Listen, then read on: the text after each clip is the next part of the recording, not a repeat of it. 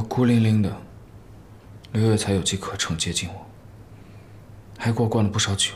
啊，是这样啊。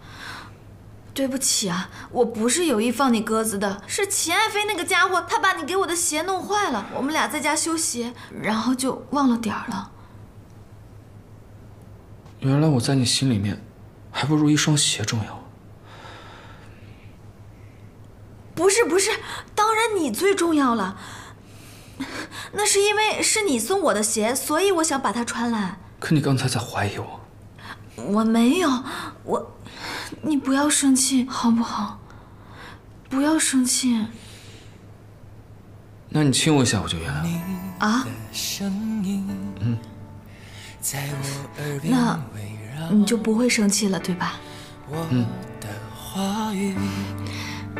总能让你开心，仿佛这世界多了许多不可能。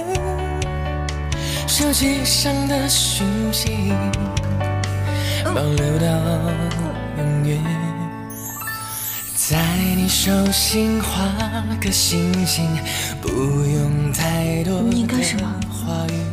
在心里的每个角落，藏着的都是你。我的世界多了个你，要每天感激。